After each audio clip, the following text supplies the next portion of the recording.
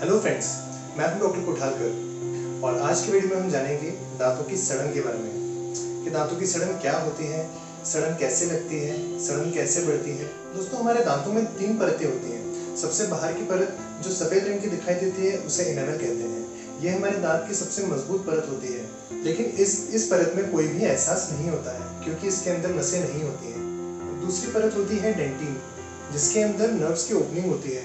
इसीलिए हमको इस इस परत के अंदर एहसास होता है। और सबसे अंदर वाली परत कहलाती है पल्प इस परत के अंदर नसें और रक्त की धमनियाँ होती हैं। अब हम जानते हैं दांतों की सड़न क्या होती है। दोस्तों, जब भी हम कुछ खाते हैं तो खाने के बारीक कण हमारे दांत या दांत पर चिपक जाते हैं और इन्हीं कणों के ऊपर पनपते हैं कीटाणु। ये खास तरह के बैक्टीरिया होते हैं, जो इन अन्य कणों को गलाते हैं और एसिड बनाते हैं। और यही एसिड आपके दांत की परतों को गलाने लगता है।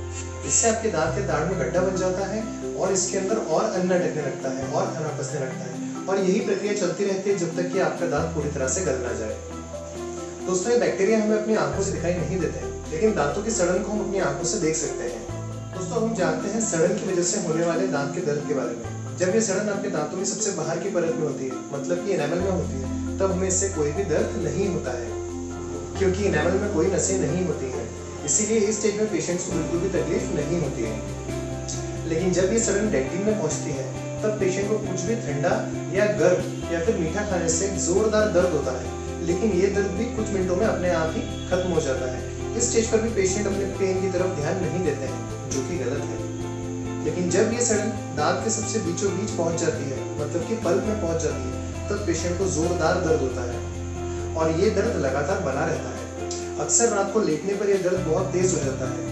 इसीलिए कई बार ही पेशेंट्स हमें आकर के बताते हैं कि, सर, रात भर मुझे जाग करके काटना पड़ी, इतना दर्द हो रहा था। इस स्टेज में पेशेंट्स अक्सर मेडिकल स्टोर से पेन किलर या दर्द निवारक दवाइयाँ खरीद लेते हैं और कुछ टाइम के लिए उनका दर्द बंद हो जाता है। लेकिन यहाँ पर भी अगर नज़रअंदाजी की गई तो आगे जा करके पेशेंट्स को सूजन आ जाती है। दोस्तों, अगले वीडियो में हम जानेंगे कि कैसे जाने कि आपके दांतों में सड़न लग रही है और अलग अलग स्टेजेस में इनका इलाज क्या है।